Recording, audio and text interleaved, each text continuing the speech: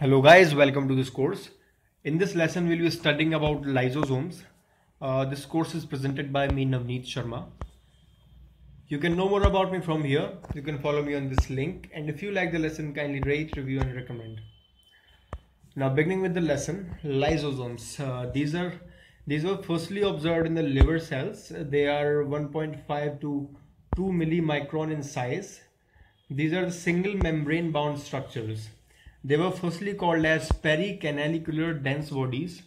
Christian de Duve called them lysosomes in 1955. So the name lysosomes was given by Christian de Duve. Uh, they were named as lysosomes because they contain hydrolytic enzymes uh, which are which are useful for the degradation and uh, uh digestion of many food particles and other substances occurrence they are present in all animal cells except the mammalian rbcs remember that in the, in the mammalian rbcs ribosomes are absent and now they are more in, found more in uh, liver cells spleen cells uh, kidneys etc in bacteria they are absent. Bacteria are prokaryotes remember that? And then uh, lysosomes are completely absent. Shape and size uh, they are round or spherical bodies they are 0.4 to 0.8 millimicrons in size.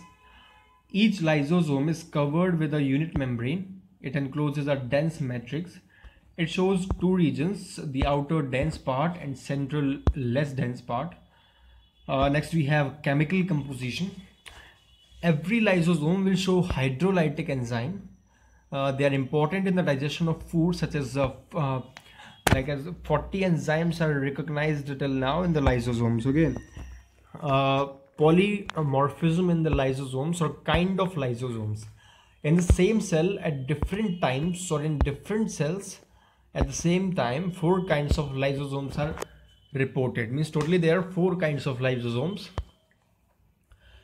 uh, first of all, we have the primary lysosome or storage granule. It is a newly formed uh, lysosome. It forms. It is formed from the Golgi body. Uh, it it is formed through the GERL, which means the Golgi associated with endoplasmic reticulum will give rise to lysosome. This was stated by Dyson in 1978. This statement that is GERL uh, by heart this that is Golgi associated endoplasmic reticulum will give rise to lysosome okay this was uh, given by Dyson in 1978 this is called the original lysosome. Next we have phagosome or pinosome or uh, digestive vacuole. Uh, original uh, lysosome unit uh, with phagocytic or pinocytic vesicle and forms a phagosome. Okay? In this phagosome, the food is digested. Next, we have autophagic vacuole or autolysosome. When the organism is in a state of starvation, the lysosome will start digesting the cell contents. Such lysosome is called as autophagic vacuole. Okay. Next, we have the residual body. After the process of digestion in the phagosome or autophagic vacuole, some materials are not digested okay undigested material is left out these leftovers are uh, found in the residual body. That is such lysosomes with the undigested food is called as the residual body. This residual body will send the undigested matter through the plasma membrane to the outside of the cell. Uh, through uh, through this process the excretion of uh, undigested materials takes place in the cell. So basically uh, the lysosome is an intracellular digestive and excretory uh, uh, organelle of the cell again. in the nerve and muscle cells residual bodies are more in number. They are called as lipofuscin granules. By the estimation of these granules the age can be uh, calculated or decided. Means uh, the more is the number of lipofuscin granules in a cell the more age it has achieved okay so there's a diagram of formation of lysosomes. It is based on the uh, statement given by Dyson. Uh, so you can refer to the diagram. There is a rough endoplasmic reticulum and uh, protein synthesis linked with the many uh, enzymes and uh, transport processes. And through these uh, after, it, it is transported to the Golgi complex and from it from there from there it is it forms the lysosomes. Okay so lysosomes are formed in this way. Uh, the polymorphic tendency of lysosomes is not real. It is connected with the digestive activity of the lysosomes. Uh, now we have the biogenesis of lysosome.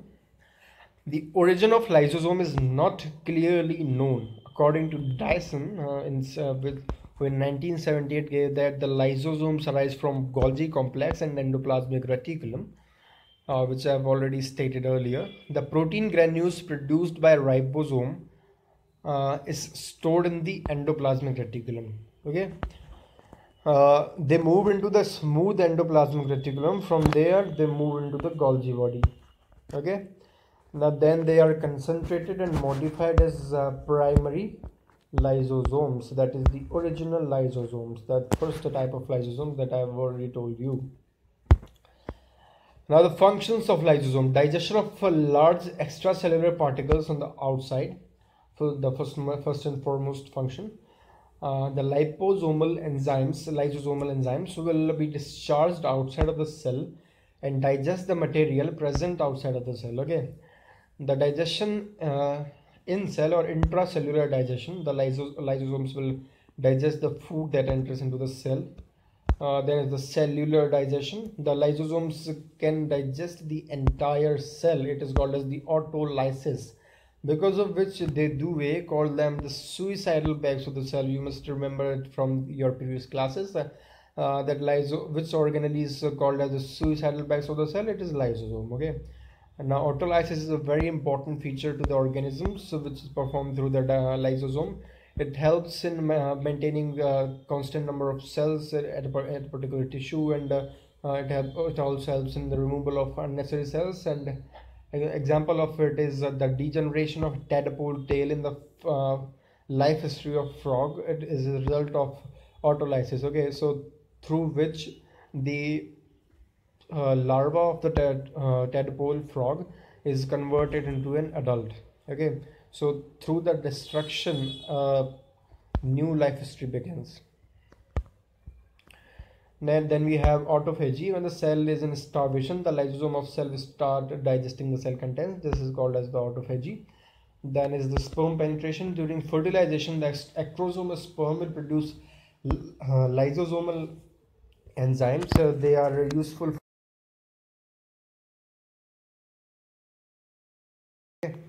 Uh, then the chromosome breaks. Lysosome shows acid DNase. It will break the chromosome and cause the rearrangement.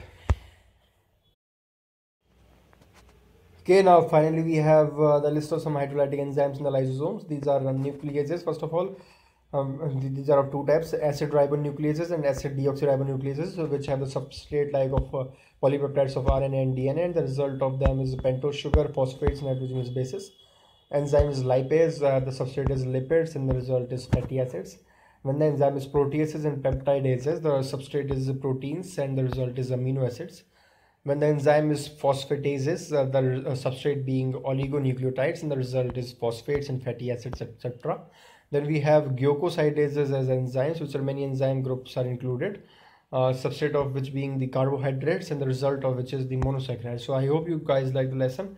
So keep learning and uh, stay happy. Thank you guys for watching